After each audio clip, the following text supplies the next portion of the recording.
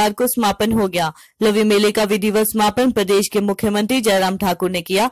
मेला committee की तरफ़ से उन्हें शॉल व स्मृति चिन्ह भेंट कर सम्मानित किया गया। समापन समारोह में उपस्थित व्यापारियों एवं लोगों को संबोधित करते हुए मुख्यमंत्री ने कहा कि अंतर्राष्ट्रीय लवी मेला सैकड़ों वर्ष पुराना मेला है। ये मेला भारत व चीन के बीच आपसी व्यापार के लिए जाना जाता है। उन्होंने कहा कि अब इस मेले में देश के आधुनिक उत्पादों को भी बिक्री होती है। तथा लोकल पारंपरिक उत्पाद भी बेचा जाता है। उन्होंने कहा कि ये केवल व्यापारिक मेला ही नहीं है, बल्कि इस मेले के भीतर हमारी पुरानी संस्कृति की विशेष झलक दिखती है। आज भी यहाँ पर पारंपरिक वाद्य यंत्रों की खरीद फरोख्त, ऊनी वस्त्र, ड्राई फ्रूट्स, जड़ी बूटियों की खरीद प्रमुख है, जिसकी बदौलत आज ये मेला कई ऊंचाइयों को छू रहा है। अंतर्राष्ट्रीय लवी मेले की चौथी एवं अंतिम सांस्कृतिक संध्या बॉलीवुड गायक कैलाश खेर के नाम रही।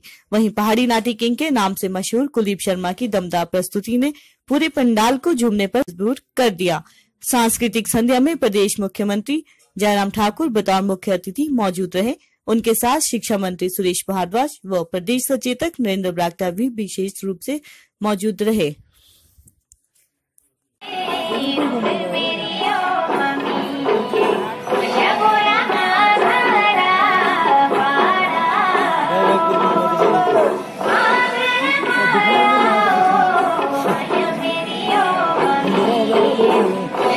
Koyama.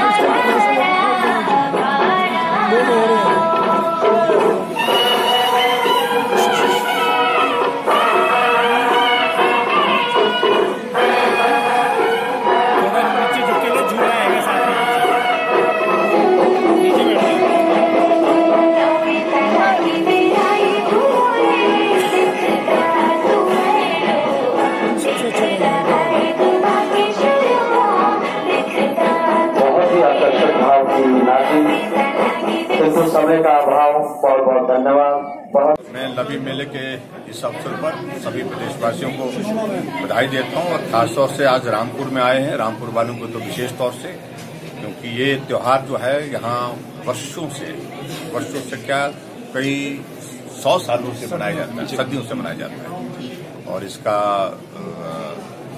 विशेष तौर से जो एक वक्त जब अ, व्यापार की दृष्टि से जो है बहुत जगह सुविधा नहीं होती थी। तो ये मेला व्यापारिक दृष्टि से एक बहुत महत्वपूर्ण था। यहाँ तक की जानकारी मिली कि तिब्बत तक के लोग जो है यहाँ व्यापार करने के लिए आते थे। और ऐसी परिस्थिति में अभी तक इस मेले को जिस प्रकार से यहाँ बहुत बढ़िया ढंग से सब लोगों ने चलाया है मैं सबको बधाई देता हूँ। और हमारी संस्कृति के लिए मजबूती के लिए उसकी मजबूती के लिए इस प्रकार के जो मेले जो हमारे मनाए जाते हैं, उसका एक बहुत बड़ा जो है वो योगदान है। और मैं सभी रामपुर वासियों को एक बार आज के इस अवसर पर बहुत सारी शुभकामनाएँ देता हूँ। रामपुर शहर में नहीं हुआ, लेकिन रामपुर विधानसभा क्षेत्र में लगभग इक्कीस करोड़ के शिलान्यास और उद्घाटन के कार्यक्रम विभिन्न योजनाओं के हुए हैं। और जैसे मैंने डिटेल दी है आईपीएस विभाग में पीडब्ल्यू डिपार्टमेंट पे और दूसरे डिपार्टमेंट में यहाँ पर विकास कार्य को, और जितनी गति से हम चला सकते हैं, उसको चलाने की कोशिश पूरी है और उस तरह से काम हो रहे हैं। और मैं उम्मीद करता हूँ कि आने वाले समय में और भी जो चीज़ें करने के होगी वो भी करेंगे परफॉर्म कर सकते हैं दोबारा भी कर सकते हैं अगर करना चाहें उसमें कोई आपत्ति नहीं और मुझे इस बात की खुशी है कि यहाँ रामपुर में आप लोगों को दूर भी जाना है, लेकिन उसके बावजूद भी आप शाम तक, देर तक मेले में बैठ करके आनंद भी लेते हैं, भाषण भी सुनते हैं और कार्यक्रम को जो है जीवंत बनाते हैं। इसके लिए मैं आप सबको बहुत बहुत बधाई देता हूँ।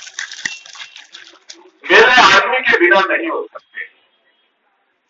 मेरे हमारी संस्कृति को घोषणा भी करने जा रहा हूँ मैं अंतर्राष्ट्रीय लवी मेला 2019 के समापन की विधिवत घोषणा करता हूँ। बहुत बहुत धन्यवाद नमस्कार।